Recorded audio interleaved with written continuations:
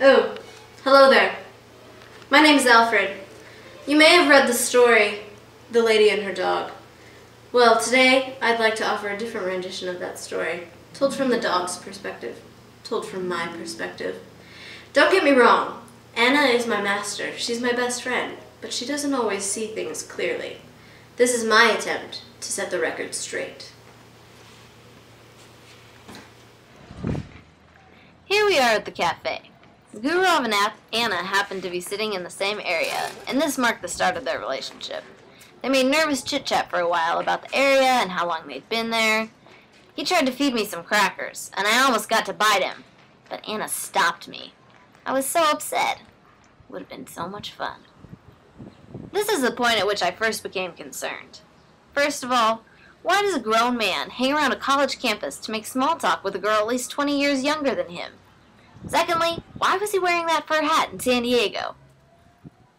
As they were walking down the lane, their conversation seemed a little too friendly for comfort. That's so funny.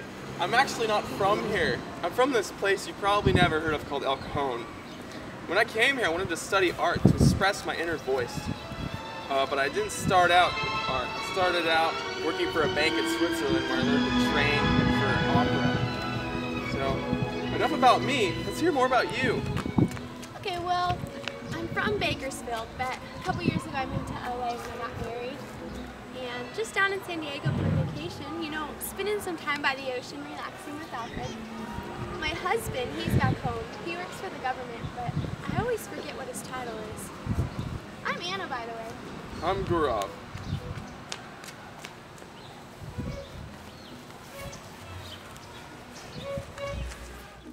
Ah, yes. After that first day, I was hoping we'd never have to see Mr. Gurov again. Unfortunately, I could tell that Anna enjoyed her brief soiree with him and wouldn't be opposed to seeing him again soon after. So one week after their first meeting, they decide to meet up at a pier and watch some boats arriving. Humans, I don't understand the amusement there.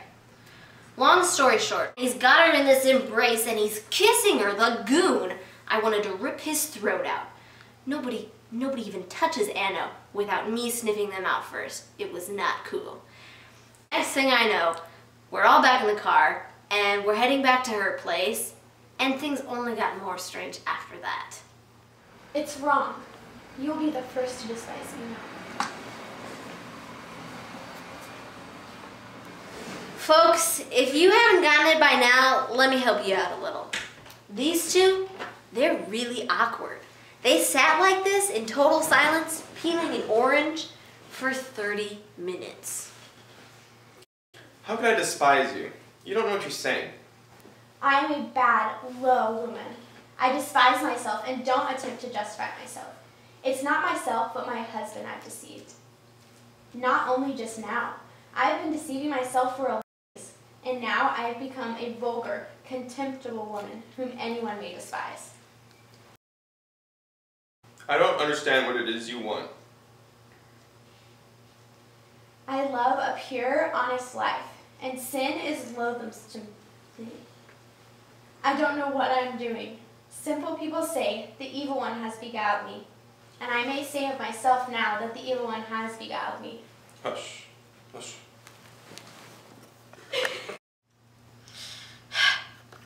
Sometimes it's hard for a dog to be loyal. Heaven knows it is for me. After all of that, you would have thought that Anna would snap out of it. I mean, she's practically sitting there going bonkers with guilt. All the guy has to do is kiss her, pet her hair a little bit, and then everything is fine. I do not understand it.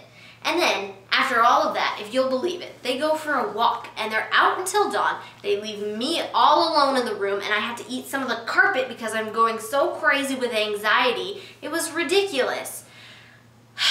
After that, they spent every day together and every night they went out for a drive. Kids these days. Oi. Thankfully, not too long after that, Anna's husband calls her, says, Hey honey, there's something wrong with my eye. I need you to come home. I don't know why he couldn't deal with his eye on his own, but whatever. She leaves, and it's this whole big thing, and it was a little strange. Let me look at you once more. I shall remember you and think of you often. We shall part forever now, but it is for the best. We should not have met.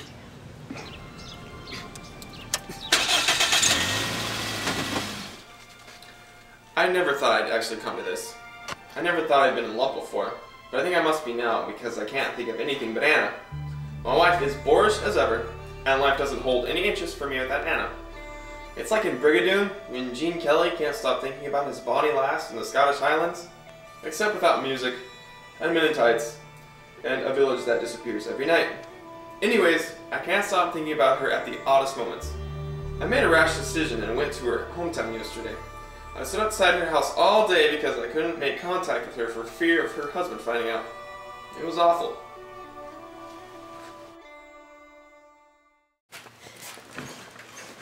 I have to tell someone. I'm so excited I might burst. I went to the theater last night with my husband, and during the first interval, he got up and left. As I sat there, I heard a voice behind me say hello, and who do you think it was? It was Gurov! He frightened me so badly, but I could not have been happier to see him. So I went out in the hallway and talked with him there. I don't even know where to begin this time. Those two lovebirds are making me sick. Anna got back from the theater that night and confided everything to me because, let's face it, I'm a dog and she knows I can't talk back to her or to her husband. So she gets back she tells me everything that happened. And then, get this, she goes to see him, to see Gurov. And then, of course, upon her return, I get the entire reenactment. It went a little like this. What news? Wait, I'll tell you directly. I can't talk. Don't cry, my darling. You've had your cry. That's enough. Let us talk now. Let us think of some plan. And then they spend a bunch of time talking about how they can avoid the necessity for secrecy, for deception, living in different towns, not seeing each other all the time, blah blah blah blah blah. And then the profound imp just says, How? How? How?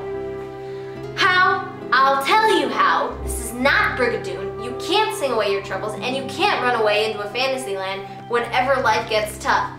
You both have spouses. Go figure it out with them. I'm sick of it.